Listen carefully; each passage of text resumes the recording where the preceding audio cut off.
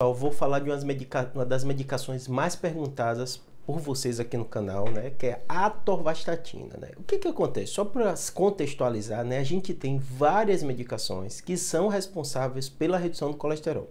E o mecanismo de ação deles é semelhante, é bem parecido. Claro que ela bloqueia de forma diferente, né, mas é muito parecido. Por isso que são da família das vastatinas. Então no final vai ter vastatina, né? Então a gente tem, né, assim, vastatina, atovastatinas e outras, né? O que que elas fazem no nosso corpo, né? Para a gente entender o que elas fazem, a gente tem que entender como o colesterol é, ele é produzido no nosso corpo, ele é absorvido e acaba gerando tanto problema, né? Qual o grande medo de todo mundo, né? É o colesterol estar alto e começar a dar alteração nos vasos. Essas plaquinhas amarelas, né, nesse modelo aqui de uma artéria, é justamente as placas dos ateromas, né? Ateromas são o quê? São placas de gordura que se formam dentro do vaso e caso não seja feito nada, pode acontecer uma obstrução do vaso. Se for coronariano, dá um infarto. Se for no cérebro, dá um AVC. Então, o medo de todo mundo quando fala de colesterol ou pergunta de atovastatina é isso, né? O medo do colesterol ficar alto ou ter um infarto. Ou quem já teve infarto ou AVC, o médico passa para evitar que tenha um novo, né? Porque as placas estão lá, mas as medicações, ela tanto reduzem o colesterol como ajudam também na estabilização, né? De placa, uma série de coisas, né? Então, vamos lá para explicar um pouquinho melhor para vocês da atovastatina, né? Então, ela inibe né, uma HMG coenzima. O que, que é isso, né? HMG coenzima é basicamente é o que?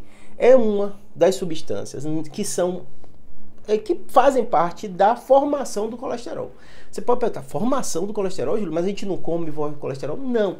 O fígado tem um papel essencial na formação dessas gorduras que ficam circulando no nosso sangue.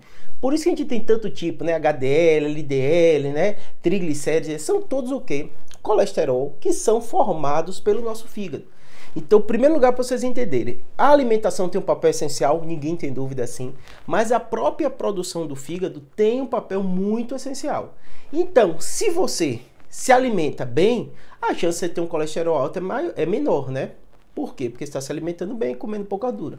Mas mesmo assim, existem pessoas com uma boa alimentação, peso está baixo e tal, tem colesterol alto. Por quê? Porque elas têm um certo problema nessa produção de colesterol e produzem mais.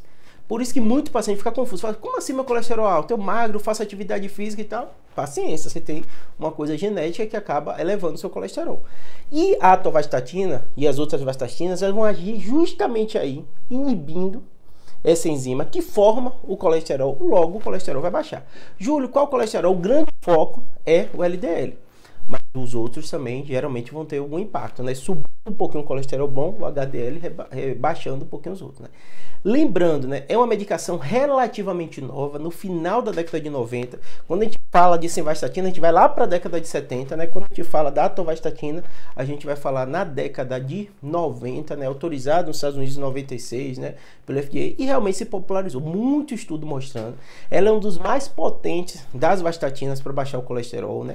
Como toda vastatina, ela tem os efeitos colaterais. Quais são os efeitos colaterais? Gastrointestinal, então tem muito paciente que tem dor de barriga, pode ter diarreia, pode ter dor abdominal, né?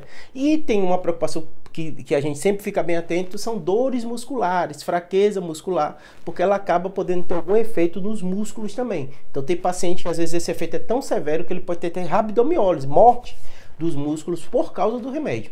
Então a gente sempre fica atento a isso. Se você tiver algum efeito, sentir alguma fraqueza, alguma coisa, converse com seu médico, ele vai analisar. Tem exame que a gente pede para ver se está tendo esse efeito ou não, tá bom? Espero que tenha ajudado. Qualquer dúvida, deixa aqui nos comentários que eu vou tentar responder, tá bom? A Atovastatina tem uma playlist com outras vastatinas também.